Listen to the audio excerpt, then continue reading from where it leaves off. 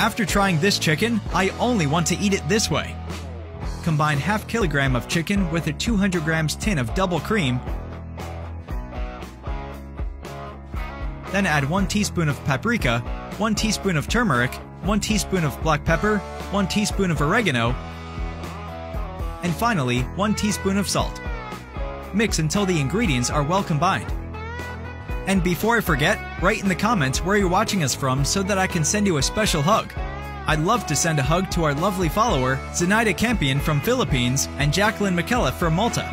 Thank you for keep on watching our videos.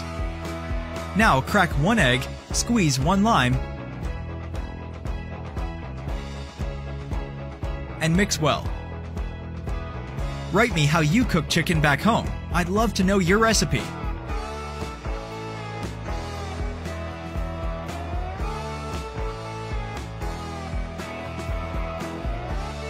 Now cover the baking pan with plastic film and put it in the fridge for 30 minutes to marinate. In a bowl, add 2 cups of flour, half spoon of paprika, half spoon of black pepper, half spoon of oregano, and half spoon of salt and mix well.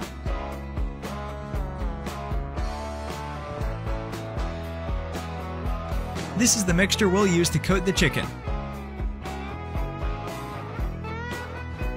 The chicken has been in the fridge for 30 minutes, so coat it in the flour and prepare to fry.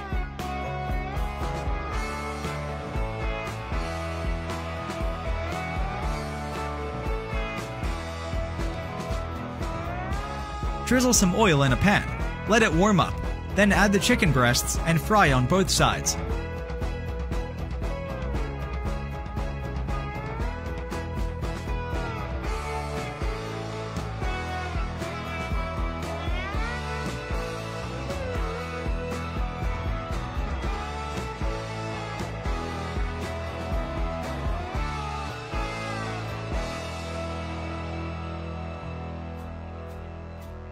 And our fried chicken is ready.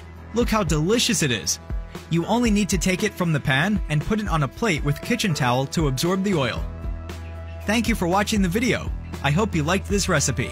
See you in the next video. Bye bye.